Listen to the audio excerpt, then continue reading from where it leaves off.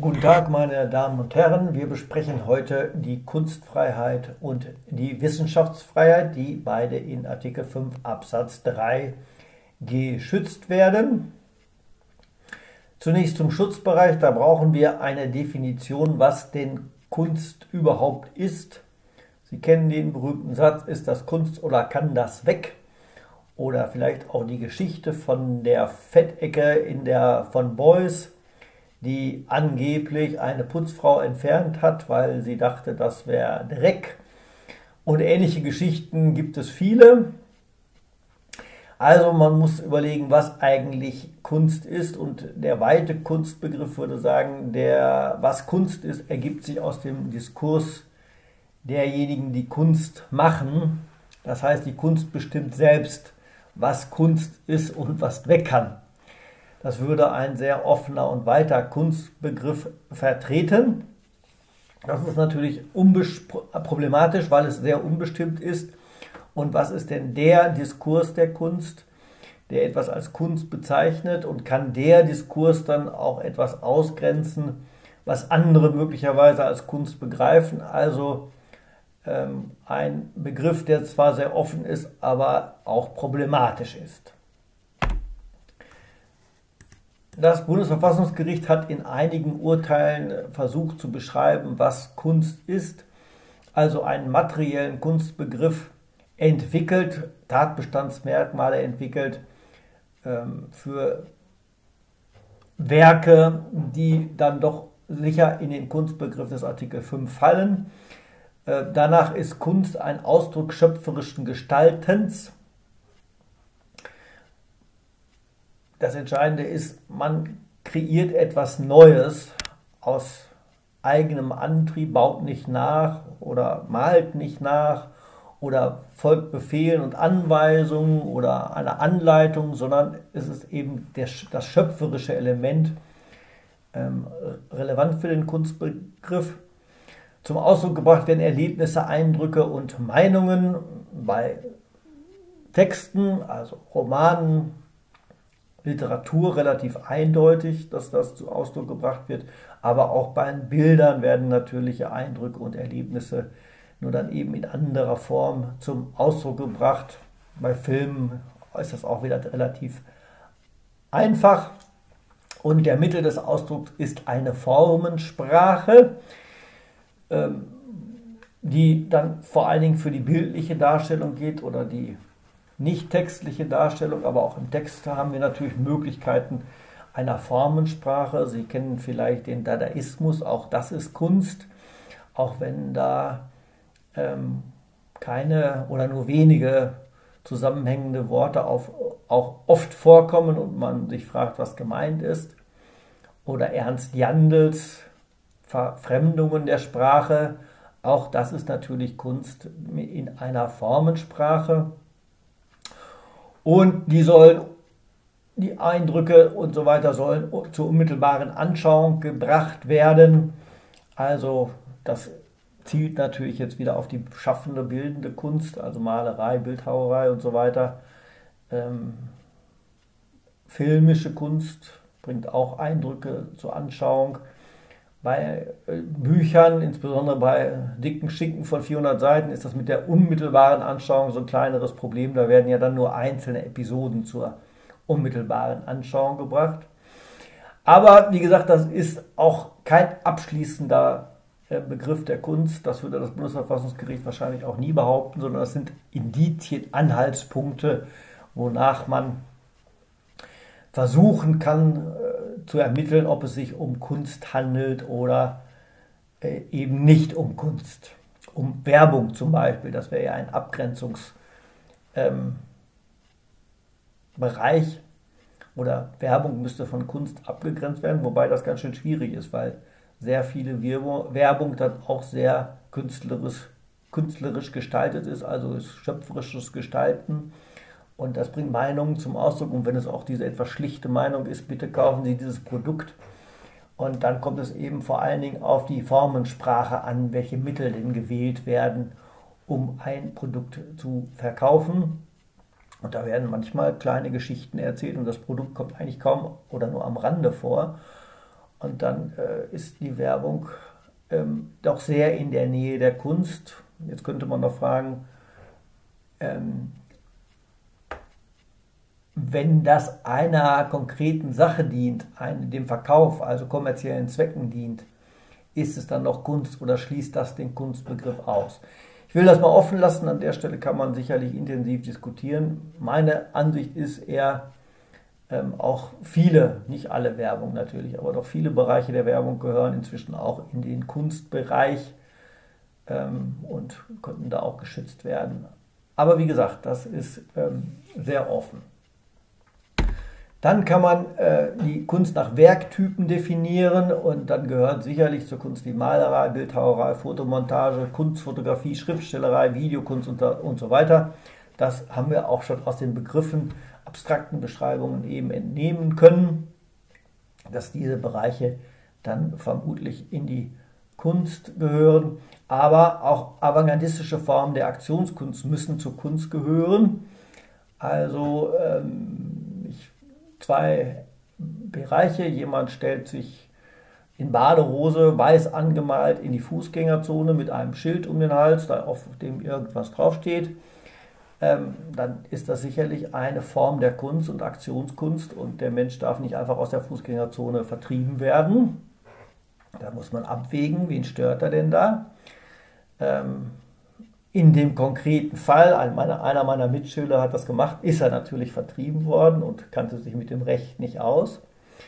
Oder ich habe in, in meinem Studium eine äh, Vorlesung äh, besucht über Kunst und da waren die großen Künstler der Gegenwart, äh, so, so ziemlich alle oder doch viele von denen eingeladen. Und einer, ich weiß leider gar nicht mehr, wer das war, ähm, hielt einen Vortrag und zeigte anstatt einer PowerPoint-Präsentation immer wieder eine weiße Leinwand, aber forderte immer wieder auf, doch das Bild zu wechseln und beschrieb dann, was auf dem Bild zu sehen ist. Es war aber gar nichts zu sehen. Da war die Kunst sozusagen, den Leuten zu imaginieren oder die Leute da, die Menschen, die Zuhörer dazu anzuhalten, sich vorzustellen, dass ein Strand oder etwas auf der Kunst ist. Alles das sind fasst man möglicherweise unter, passt man unter Aktionskunst und auch die muss natürlich zur Kunst gehören, auch wenn sie nicht zu den klassischen Werktypen gehört, die ich hier aufgezählt habe. Ich habe zwei Fälle des Bundesverfassungsgerichts herausgegriffen, die ich Ihnen kurz vorstellen will. Der erste Fall ist der Fall Josephine Mutzenbacher. Und der Roman heißt Josephine Mutzenbacher, die Lebensgeschichte einer wienerischen Dirne, von ihr selbst erzählt. Unter diesem Titel wurde ein Roman herausgegeben, der die Lebensgeschichte der Josephine Mutzenbacher, das ahnt man schon, erzählt, gespickt mit Wiener Kraftausdrücken und Spezialbegriffen aus dem Bereich der Sexualität erzählt und dabei werden pornografische Details ausführlich beschrieben. Und ich habe aus einer Literaturkritik eine etwas genauere Beschreibung über den Inhalt des Werkes, den ich natürlich hier jetzt nicht präsentieren kann, aber die Literaturkritik verschafft einen ganz guten Eindruck, worum es geht und was denn mit den Kraftausdrücken und den pornografischen Details gemeint ist. Der Roman schildert den Lebenswerk eines kleinen Mädchens in die Prostitution. Es ist weniger Geschichte über eine Dirne, denn über ein Kind, das aus ärmlichen Verhältnissen stammt und seine einzige Lebensfreude aus der Sexualität schöpft. Etwas anderes hat das Leben ihr nicht zu bieten. Ihr Körper ist auch ihr einziges Produktionsmittel. Josephine Mutzenbacher wird Hure aus Lust und mangels Alternativen. Entgegen dem gängigen Klischee ist die Hurerei nicht der Anfang ihres Untergangs. Im Gegenteil, die Mutzenbacher entkommt dank ihrer dem Elend und der Armut und wird zu einer reichen Frau, die nichts bereut. Der Hurerei verdankt sie, dass sie nicht im Findelhaus gestorben oder als stumpfsinnige abgearbeitete Proletarierfrau zugrunde gegangen ist. Dank ihrer hat sie vornehme und gelehrte Männer kennengelernt, die ihr Benimm und Bildung beibrachten. Schuldgefühle lässt sie sich von der Gesellschaft nicht einreden. Das Buch adressiert sie an die reichen und vornehmen Herren, die sich mit käuflichen Mädchen vergnügen. Es soll ihnen einen Einblick in das Fühlen und Denken dieser Mädchen geben, ihre Herkunft und ihre Erlebnisse. Der konsequent pornografische Roman zeigt die Kehrseite einer Wiener Gesellschaft der Hochanständigkeit, ein Leben in Armut und Elend ohne Seidenkissen und Plüschsobers, ohne Sitte und Anstand. Der Autor hat eine Protagonistin gewählt, die nicht nur dem Proletari Proletariertum entstammt, sondern auch ein Kind ist, damit weitgehend befreit ist von den herrschenden Zwängen und Moralvorstellungen. Josephine sieht die Welt naiv und unverstellt, sie kennt weder Heuchelei, Besitzstandsdenken noch Eifersucht. Im Gegenteil, das Teilen des Partners mit anderen Personen erhöht die Freude und ihr Sozialdenken ist stark ausgeprägt. Josephine kennt keine Grenzen, sie schläft mit Arbeitern, Unternehmern, mit Jungen und Alten, mit ihrem Vater und mit anderen Frauen. Sie hebt sämtliche Klassenunterschiede auf. Josephine als anarchistische Heldin, der Roman als antibürgerliches Pamphlet und Provokation bezeichnenderweise funktionieren feste Beziehungen nicht. Sie ahnen, der Roman zielt darauf, Tabus zu brechen. Tabus, die Anfang des 20. Jahrhunderts ähm, existiert haben, die sozusagen alle hier angesprochen werden, aber auch heute äh, werden noch einige Tabus angesprochen. Der Sex mit Kindern an erster Stelle, aber dann auch die Infragestellung von festen Beziehungen und ähnliches. Das gehört immer noch zu den gängigen Moralvorstellungen und Tabus, die hier in Frage gestellt und provoziert werden. Das veranlasste dann die Bundesprüf Bundesprüfstelle für jugendgefährdete Schriften, den Roman auf den Index zu setzen, was bedeutet, dass er nicht mehr an Jugendliche verkauft werden darf. Darüber sprachen wir ähm, im Rahmen der Meinungsfreiheit. Das Bundesverfassungsgericht sagt dazu am 27.11.1990 in der Entscheidungssammlung 83 Seite 130. Die Entscheidung der Bundesprüfstelle für jugendgefährdete Schriften vom 14. November und das Urteil des Bundesverwaltungsgerichts vom 3. März 1987 verletzen das Grundrecht der Beschwerdeführerin aus Artikel 5 des Grundgesetzes. Die Entscheidungen werden aufgehoben. Das Verfahren wird an das Bundesverwaltungsgericht zur Entscheidung über die Kosten des Rechtsstreits zurückgewiesen. Geklagt hatte natürlich der Verlag, der das Buch gedruckt hatte und natürlich verkaufen wollte. Und unter Nummer 1 der Entscheidungsformeln hat das Bundesverfassungsgericht auch das Gesetz zum Schutze der Jugend äh, in Frage gestellt, die entsprechende Vorschrift und gesagt, das ist zu allgemein und einschränkend formuliert. Die Kunstfreiheit muss berücksichtigt werden.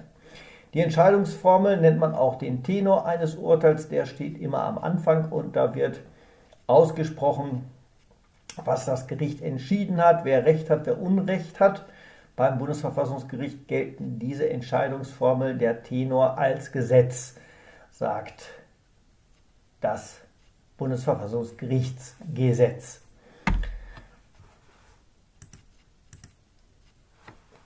Zunächst prüfen wir den Schutzbereich selbstverständlich oder prüft das Bundesverfassungsgericht den Schutzbereich, fällt der Roman in den Schutzbereich des Artikel 5. Das ist ja fraglich. Man kann fragen, ist das Kunst oder ist das Pornografie? Und Pornografie fällt nicht zwingend in den Kunstbereich. Wir werden sehen, dass das Bundesverfassungsgericht sagt, das ist Pornografie und Kunst. Das Verfassungsgericht führt aus, die indizierte Schrift fehlt in den Schutzbereich des Artikel 5 Absatz 3. Dabei mag es zweifelhaft sein, ob die schon deshalb zu bejahen ist, weil sich das Werk als Roman bezeichnet und das Ergebnis einer anerkannten künstlerischen künstlerischen Tätigkeit der eines Schriftstellers darstellt. Das Werk weist aber die der Kunst eigenen Strukturmerkmale auf. Es ist Ergebnis freier schöpferischer Gestaltung in der Eindrücke, Erfahrungen und Fantasien des Autors in der literarischen Form des Romans zum Ausdruck kommen.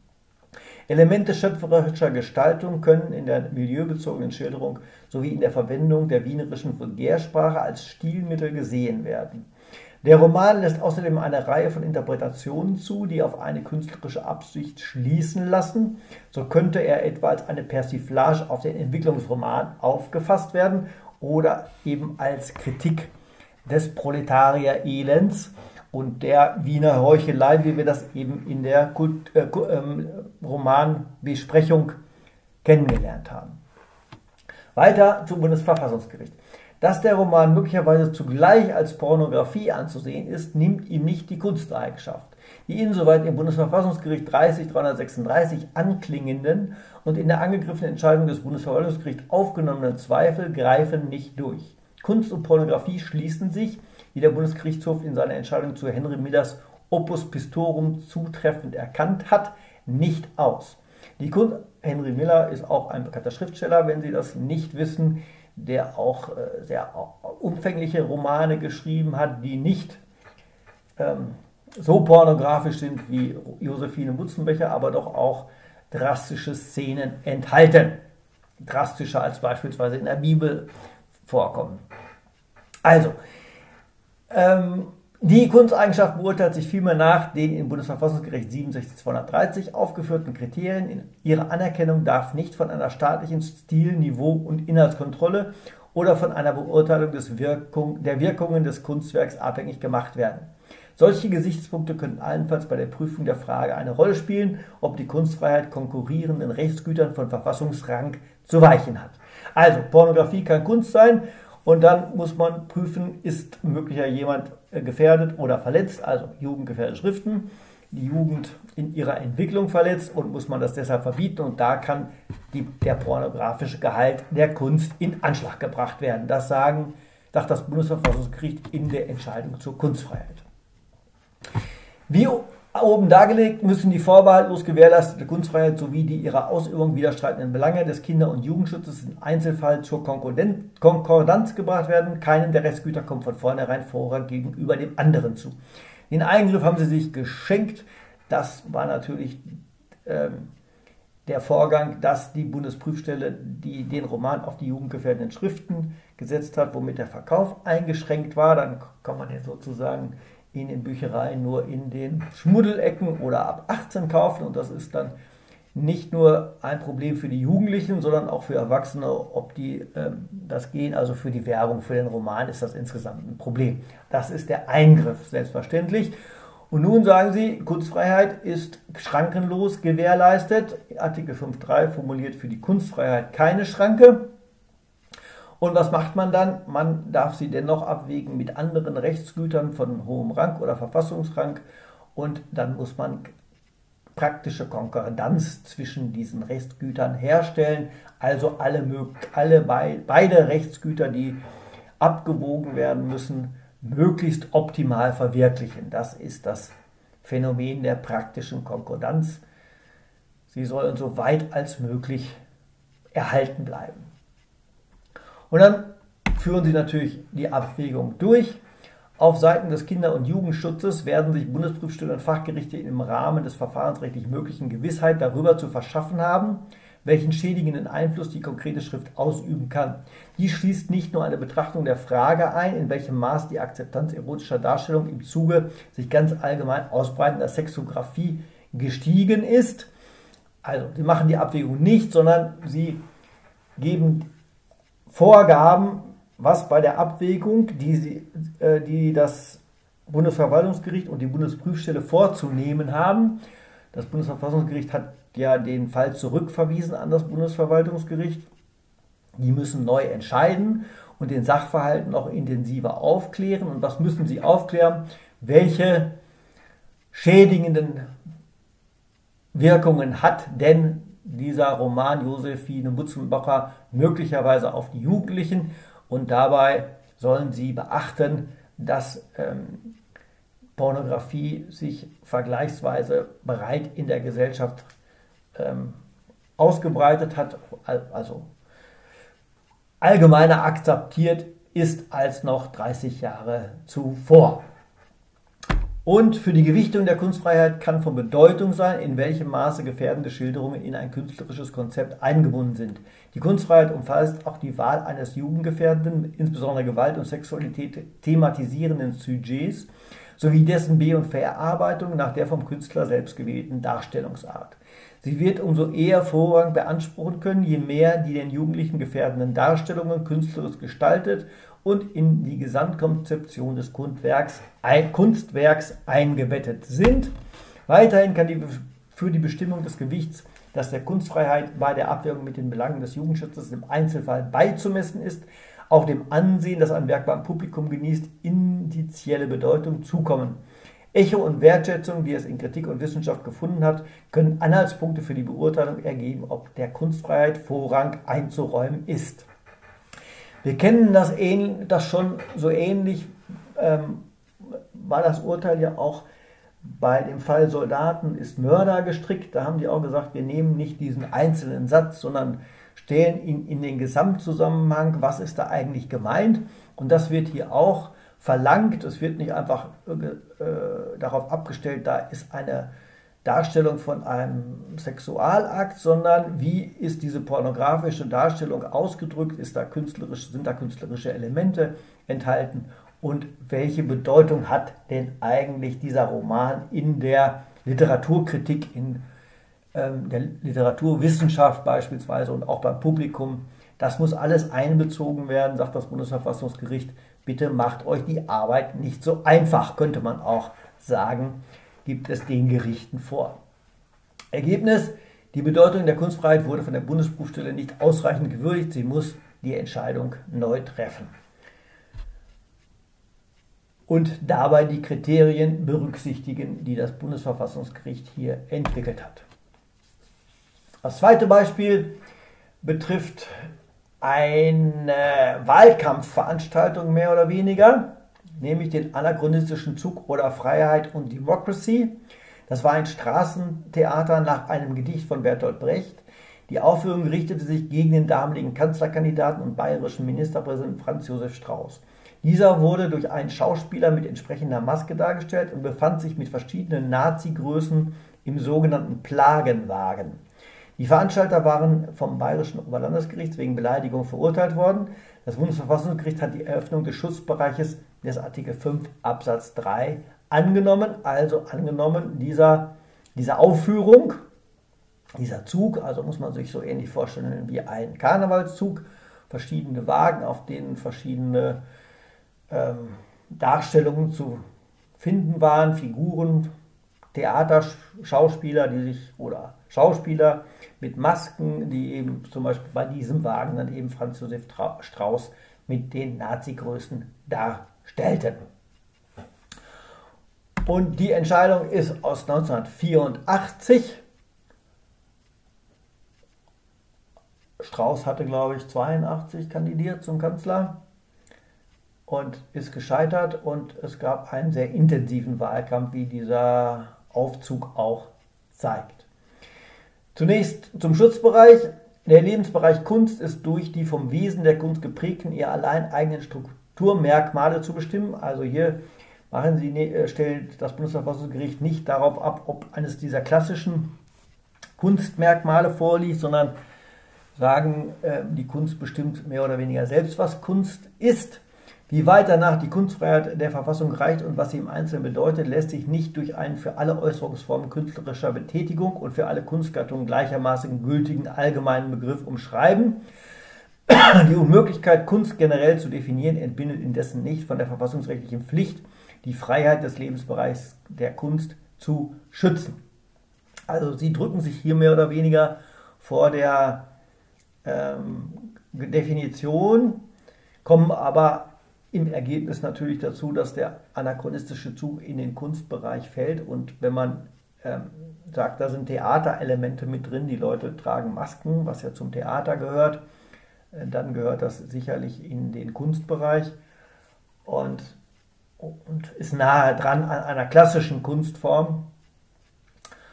Und wenn Sie nochmal äh, an die Karnevalszüge denken, diese Karnevalswagen mit Darstellung von Politikern äh, in nicht schmeichelhaften Positionen oder von Kirchenfürsten äh, in nicht schmeichelhaften Positionen, dann gehört das sicherlich auch in die Kunstfreiheit. Es ist nah dran an der Bildhauerei, an der darstellenden Kunst, wenn das auch nur für diesen einen Anlass Karnevalsumzug gestaltet wird.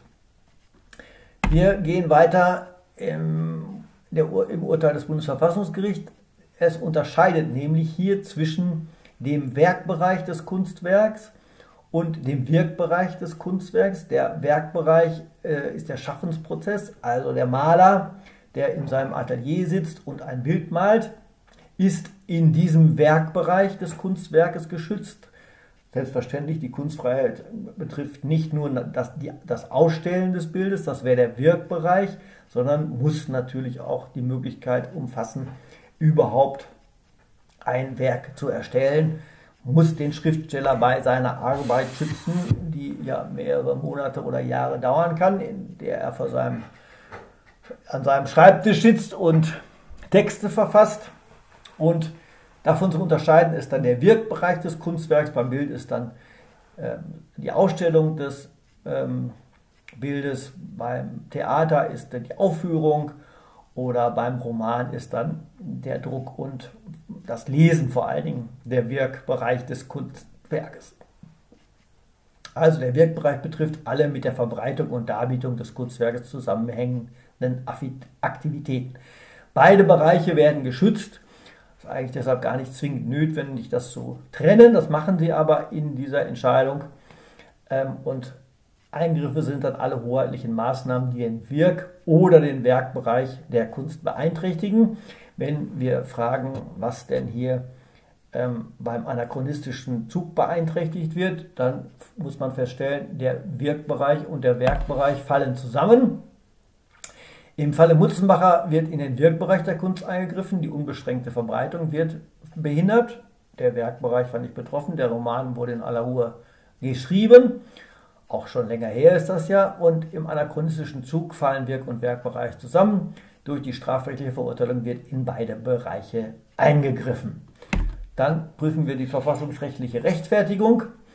Ähm, nur verfassungsimmanente Schranken kommen in Betracht. Das heißt, andere Grundrechte oder verfassungsrechtliche normierte Rechtsgüterwerte oder Institutionen können einen Eingriff in die Kunstfreiheit rechtfertigen und man muss dann wieder praktische Konkordanz herstellen, also Kunstfreiheit und das Gegenrecht ähm, möglichst gleichwertig zur Geltung bringen. Wenn man hier fragt, was ist das Gegenrecht oder das Recht, was möglicherweise die Kunstfreiheit beschränken kann, dann die Ehre von Franz Josef Strauß oder das allgemeine Persönlichkeitsrecht von Franz Josef Strauß. Ähm, das kann dann dazu führen, dass der Aufzug ähm, untersagt wird, weil die Ehre und das Persönlichkeitsrecht von Strauß äh, behindert sind. Also die Kunst, das Persönlichkeitsrecht schränkt die Kunstfreiheit ein. Umgekehrt ist das wie bei der Meinungsfreiheit. Die Kunstfreiheit ähm, muss dem Persönlichkeitsrecht Schranken ziehen oder die, das Persönlichkeitsrecht muss im Lichte der Kunstfreiheit ausgelegt werden. Es ist sozusagen die, der gegenseitige Einfluss zu ähm, berücksichtigen, die gegenseitige Durchdringung. Ähm, selbstverständlich kann nicht jede Ehrverletzung dazu führen, dass die Kunst verboten wird und die Kunstfreiheit eingeschränkt wird. Es kommt wieder Meinungsfreiheit, wie bei der Meinungsfreiheit darauf an, was, wer betroffen ist, was betroffen ist, welche Äußerungsformen vorliegen und so weiter. Und bei der Meinungsfreiheit hatten wir gesehen, es kommt darauf an, ob es sich um eine öffentliche Person und eine politische Auseinandersetzung handelt oder ob es sich um eine Privatperson und eine private Angelegenheit handelt. Je öffentlicher, umso weiter die Meinungsfreiheit. Je privater, umso enger die Meinungsfreiheit. Ähnlich kann man das für die Kunstfreiheit auch sagen. Es ist eine Abwägung zwischen Kunstfreiheit und Ehrschutz erforderlich. Die gleichzeitige Anwesenheit von Strauß mit den Nazi-Größen in einem Wagen lässt verschiedene Deutungen zu. Auch das kennen wir aus dem Soldaten ist Mörderurteil. Ähm, man muss nicht zwingend sagen, na, Strauß ist ein Nazi, das wird wahrscheinlich auch gar nicht gemeint gewesen sein, ähm, sondern er, der hat nicht äh, davor zurückgescheut, ähm, in der Wehrmacht zu dienen und den Nazis damit zu dienen, war nicht im Widerstand und hat auch jetzt noch äh, Verbindungen zu oder befürwortet diktatorische Regime. Strauß hat beispielsweise über die Diktatur in Chile gesagt, das Leben der politischen Gefangenen wäre nicht so schlimm im Sommer und bei Sonnenschein in den Stadien würden, ließe es sich ganz gut aushalten. Das war natürlich, führte natürlich zu Empörung.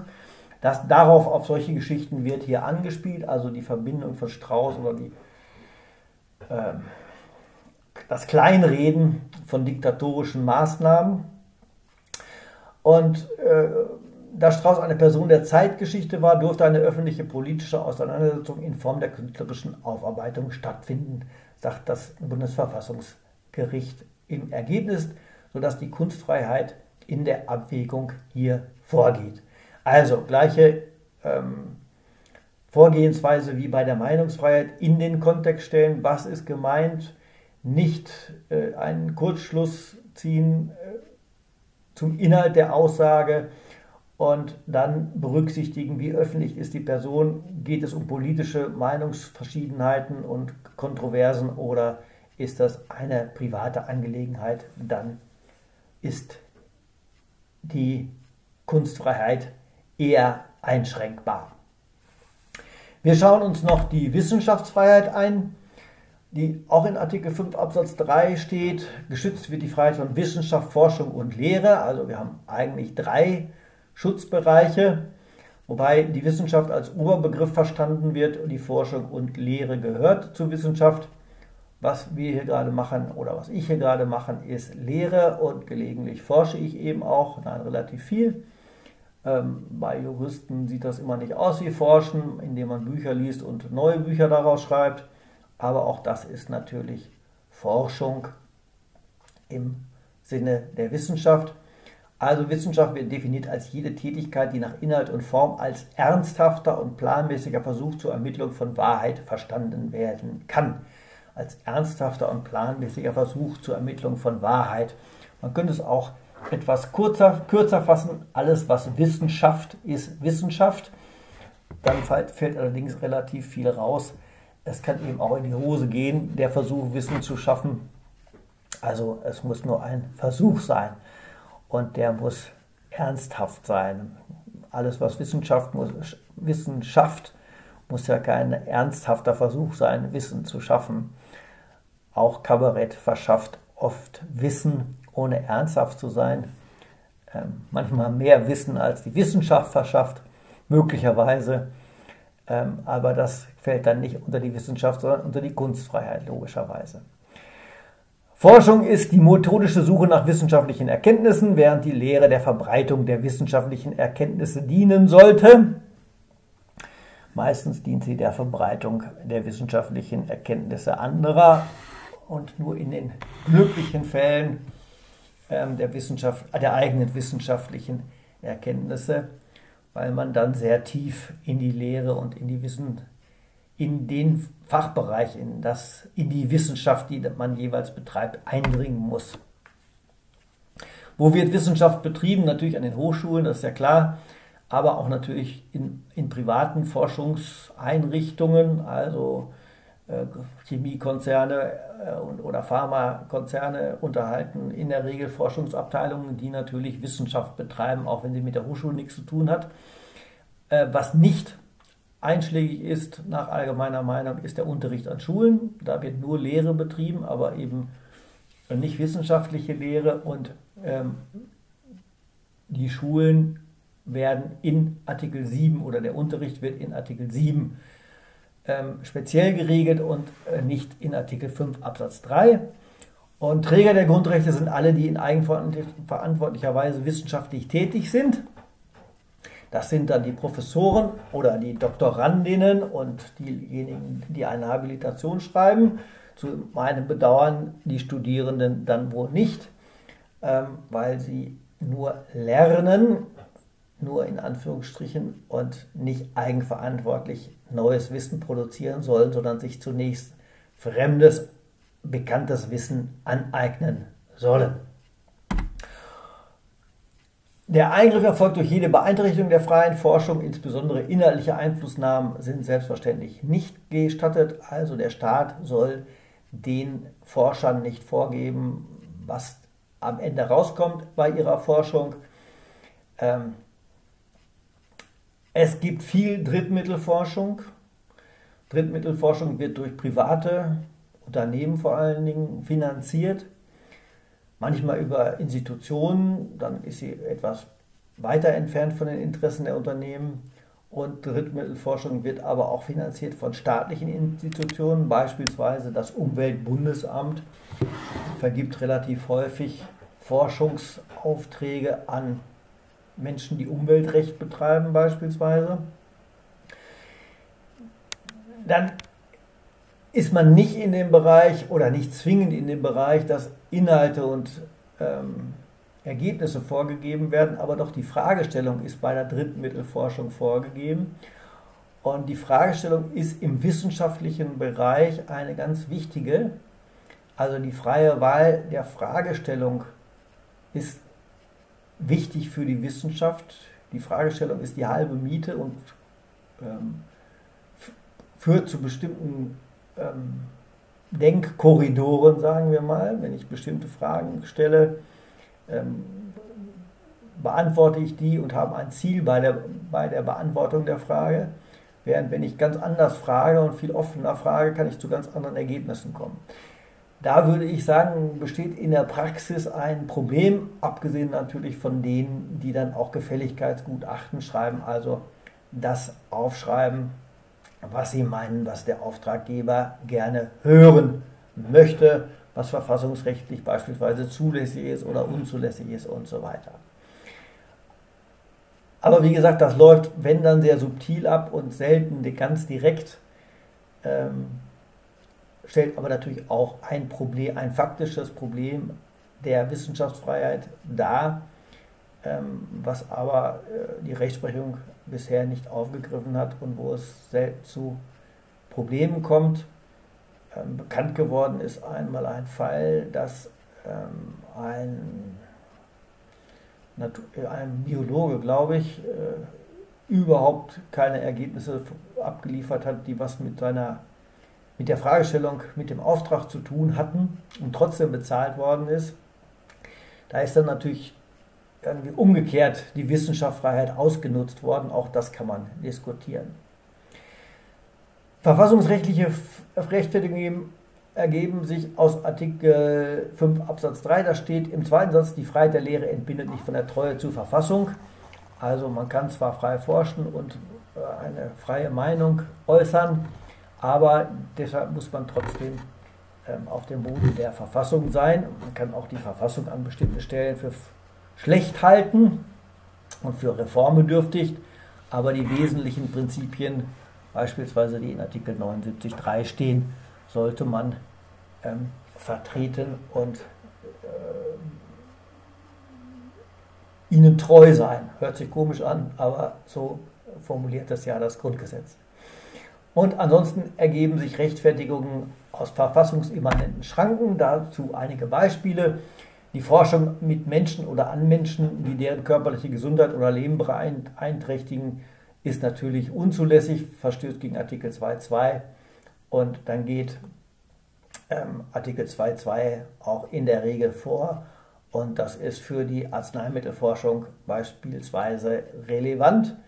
Ähm, die müssen ja alle getestet werden außer äh, Corona-Impfstoffe, die wurden nur sehr kurzfristig getestet, an, kurzzeitig getestet. Alle anderen werden deutlich länger getestet und man muss sehr viele Vorstufen durchlaufen, bevor man äh, mit Menschen dann testet und die müssen natürlich auch zustimmen.